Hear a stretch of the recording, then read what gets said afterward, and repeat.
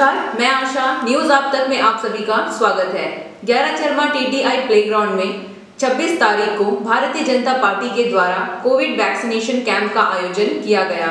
इस कैंप का आयोजन भारतीय जनता पार्टी के former state president home ministry advisory committee के मेंबर श्री विशाल जौली और उनके कार्यकर्ताओं द्वारा किया गया।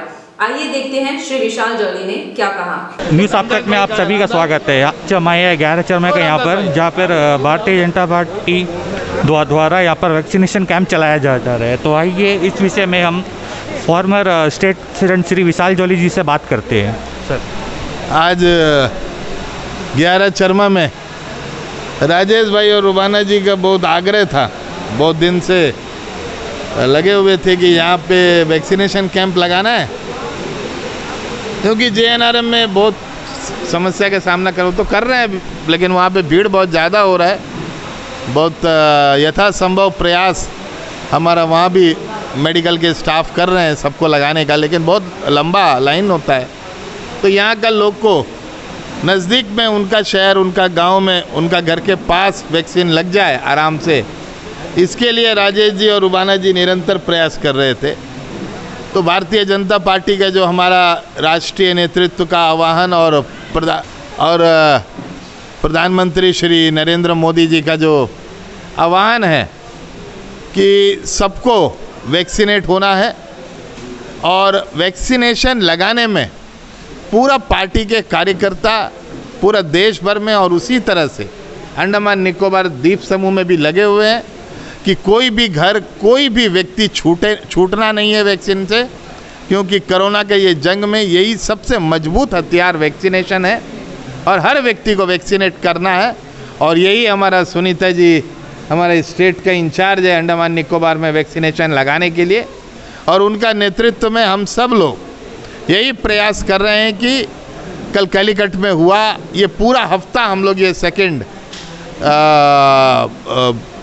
एक हफ़्ता चला रहे हैं कार्यक्रम। इससे पहले भी हमने कार्यक्रम चलाया था वैक्सीनेशन सभी जगह लगाने का। और कल तो कलिकट में एक इतिहास रचा हमारा एकाम्बरम भाई वहाँ का इंचार्ज था। एक ही दिन में एक कैंप में 715 लोग को वैक्सीनेट किए।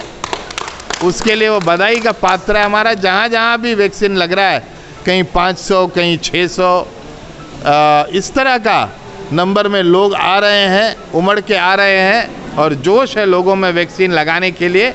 और हम आपके माध्यम से आज भी यहाँ पे जो लोग उपस्थित हैं, उनसे भी ये आग्रह करेंगे कि जब आप लोग वापस घर जाएँ तो अपना परिवार में या अपना अगल बगल में, पड़ोस में कोई भी व्यक्ति हो, कोई भी माता बहन हो जो वैक्सीन नहीं लगाया अभी तक, चाहे वो 18 से ऊपर का हो या 45 से ऊपर का हो उनको ज़रूर यहाँ भेजिएगा। इतना आसानी से वैक्सीन आपको बाज़ार में नहीं लगा सकते। आप बहुत तकलीफ़ होता है। चार बजे, पाँच बजे से लाइन में खड़ा होने से शाम को जाके वैक्सीन लगेगा।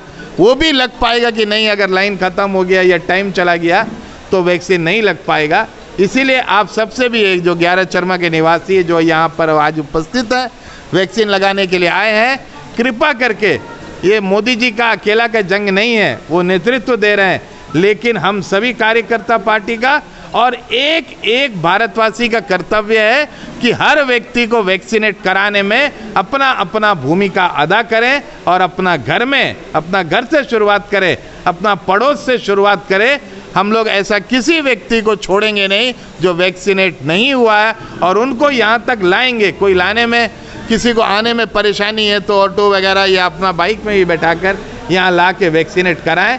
जितना भी लोग आज इस वैक्सीनेशन सेंटर में ग्यारह शर्मा में आएँगे, हर एक को वैक्सीनेट किया जाएगा।